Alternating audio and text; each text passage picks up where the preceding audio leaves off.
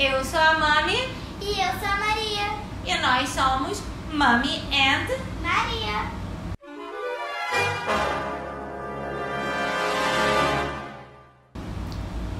Meninas. O vídeo de hoje é para falar das gírias e expressões manauaras. Sim, tem muita diferença das expressões que a gente usa no Rio de Janeiro e das que são usadas aqui em Manaus, Muitas. né? Eu já conheci algumas, confesso, porque a minha família é do Maranhão. Minha mãe, meus tios, primos, minha avó. Então, assim, algumas não são tão é, é, novas pra mim, porque a minha família é do Maranhão e o Maranhão é bem próximo, né? Daqui de Manaus. Mas outras eu fiquei assim, cara, que, que é isso? Não tem né? nada. Que legal, assim. E assim, tem um. Você acha que é uma coisa, mas é outra, completamente diferente, sabe?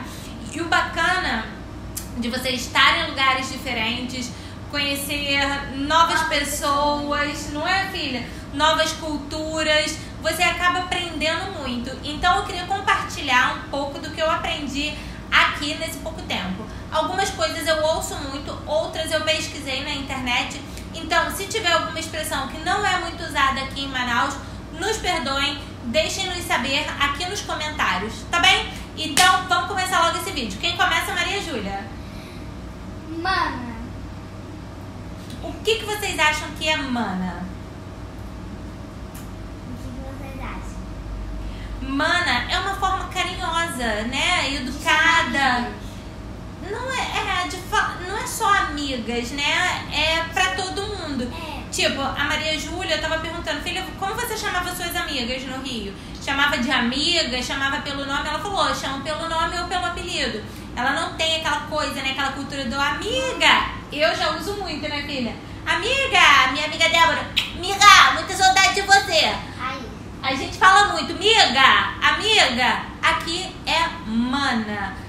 Pra tudo aqui é mana. Mana, tu fizeste, mana, tu falaste. E é legal, né, filha, que eles usam tudo na terceira pessoa. E Tudo um verbo. é, tudo na terceira pessoa. Eu, particularmente, acho muito bacana. Eu acho é, uma forma mais culta, né? Mais bonita, diferente de se falar. Parece que você tá num filme, sabe? De antigamente. Eu acho bem legal. Eu acredito que seja até um português mais correto do que, do que o que a gente utiliza no Rio, porque assim, a gente abrevia muito, usa muita gíria. Nós não falamos, muita gente não fala mesmo, fala mesmo. Então, assim, eu acho isso super bacana e assim, eu te confesso que no início foi estranho, né, filha? Todo mundo falando, ei, mana, mana, mana.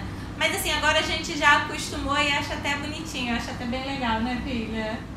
Outro termo muito usado, muito usado aqui é abestado. Assim, abestado, ele pode ser bobo, tolo, imbecil, tudo vai depender da situação, do contexto e da conotação que você vai usar. Por exemplo, outro dia eu fui levar as crianças na escola e tinha um carro parado, né, no, no perto da calçada, mas bloqueando a via. Aí um cara parou atrás, começou a buzinar e o cara da frente ficou estressado, puxou o freio de mão, desceu do carro. Tu é abestado, é? Não tá vendo que eu tô aqui, eu? Olhei, achei aquilo engraçado, sabe? É, é, né? Falei, gente, é, é um xingamento. E aí meu marido foi e falou que no, no trabalho dele, né? Muita gente, assim, conversando, né? De, de brincadeira, ah, tu é abestado, é? Então, assim, vai depender muito do contexto da situação, vai depender da conotação que você vai usar, mas abestado é bobo, tolo, imbecil ou coisas do tipo, ou variações. A terceira expressão é brocado. Que O significa. que, que vocês acham que é brocado? Fala aí. É. Tô esperando. Olha, brocado Brocado. é uma coisa que a Maria Júlia tem sempre, né? Fala, filho. Fome. Eu nunca ia imaginar que brocado é fome. Brocado, pra mim, É uma pedra. não, brocado é tipo, ah, esse dente tá brocado, esse dente tá quebrado, esse dente tá furado. Ah, esse quadro tá brocado, entendeu? Agora, brocado com fome, eu nunca iria imaginar. E olha que tem alguém muito brocada nessa casa, não é mesmo? A nossa quarta gíria é capar o gato. Que isso? O que vocês devem estar pensando? Eu vou capar o gato. Não tem nada a ver com nenhuma maldade com bichinho, tá, gente? Se fosse literalmente usar o mesmo termo no Rio, a gente ia falar o quê? A mesma gíria seria? Não. No Rio a gente fala, vou vazar. Vou vazar. Que significa? Tchau. Que significa? Vou embora. Isso aí. Queijo, fui. Capar o gato é o mesmo que vazar. Ir embora. Tchau, vazei. Calma, Fui ainda embora. não, daqui a pouco. E a quinta expressão daqui de Manaus, meninas, é de boboia, que no caso significa ser boa. De boa. É, de boa. Relaxado. Isso aí, ó, tô de bubuia, tô de Tô boa, boa, tô de bobeira. tô de bobeira, tô relaxado. De bubuia. Sim.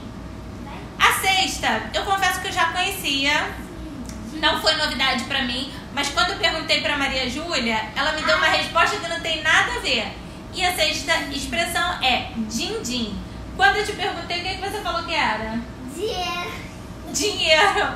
Mãe, me dá um din-din aí. Ei, você aí, me dá um dinheiro aí, me dá um dinheiro aí. Mas não, din-din é sacolé. Que Como você vai imaginar isso? Din-din, em todo lugar no Brasil, no mundo, é, é dinheiro. Como é que pode din-din ser sacolé? Mas eu acho, eu acho, tá? Não tenho certeza. Manauaras, deixem me saber aqui nos comentários. Din-din também é usado pro termo dinheiro aqui? Me dá um din-din aí. Ei, tem meu din-din aí? E a sétima palavra é égua, que no caso significa lá no Rio susto. Surpresa. Surpresa. É uma expressão, realmente, né? Não é uma gíria. Eu já É. conhecia, Maria Júlia não lembra, porque quando ela foi pro Maranhão, ela era muito pequenininha. E o Matheus, cara, filho da minha prima, prima Claudinha, Matheus, Claudinha, beijos. Ele falava muito, eu achava tão bonitinho ele pequenininho. Égua! Tudo era égua, sabe? Então, assim, se você Égua que Fica, é, não, tipo assim, se você se surpreende com alguma coisa, por exemplo, caramba, Matheus, Maria Júlia foi numa montanha russa que ficou de cabeça pra baixo. Ele ia falar, égua! Tipo, é muito bonito. E ele assim, pequenininho falando, eu confesso que eu achava muito bonitinho ele falando égua. Então, pra mim já era uma expressão conhecida, Maria Júlia não lembrava porque era muito pequenininha. Égua pra mim, no caso, significa aquela égua mesmo, cavalo. A mulher do cavalo, né? É. Mais um que eu já conhecia, que minha avó usava muito essa expressão, ela falava muito, inclusive variações. A expressão é fuleiro, algo de pouco valor. Ah, Por exemplo, ah, menina, esse teu Mickey é muito fuleiro, ou seja, ele é muito vagabundinho, ele, não é, presta, é aquela ruim. sua blusa é muito fuleira. Sabe aquela sua blusa que rasga fácil? Só de você Ai, mas eu tenho uma blusa furadinha que eu adoro. Pronto, falei, aquela preta. e detalhe, minha avó ainda tinha variações pro fuleiro. Que ela ficava, esse menino tá de fuleiragem. Ou seja, esse menino tá de, tá de sacanagem. Entendeu? Então, assim, já é um termo da minha infância que eu ouvi muito, que não é novidade pra mim. E agora eu vou falar a nona. A nona. E que você não queria saber, né? Você não queria saber o que, que é. Ei, filha, vamos ali com- comer um quicão. Você ia saber? Eu vou falar, que que que canta bom, vou lá. Se for alguma coisa de mim, eu vou falar, não, quero não. Toma aí pra você que você achar bom.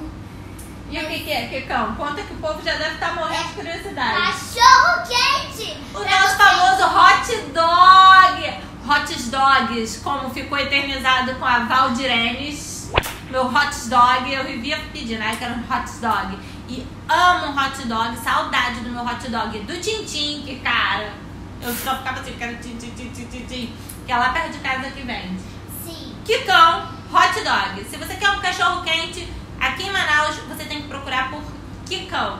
E ó, uma aplicação numa frase. Ei, mana, você sabe onde eu posso encontrar um quicão de qualidade? Porque eu tô muito brocado. Caraca! Tchum, tchá, tchá, tchum, tchum, tchá. Já sei fazer uma frase inteira, viu?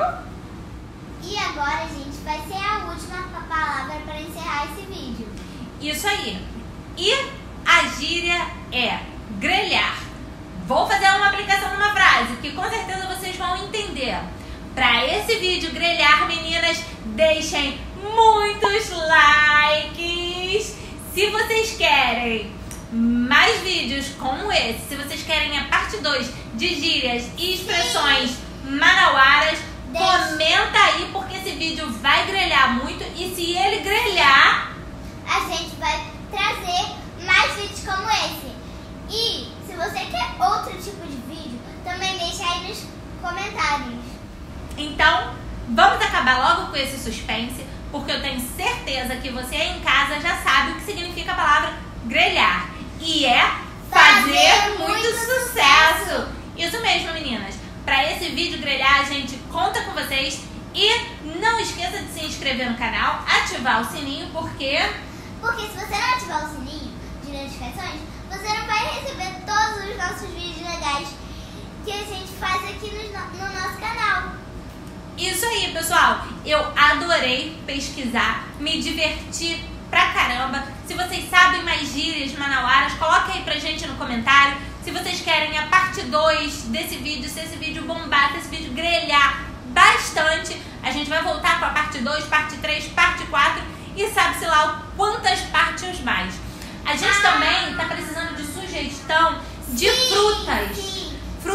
Típicas daqui de Manaus. A gente já sabe isso, a gente quer fazer um vídeo experimentando frutas típicas daqui de Manaus.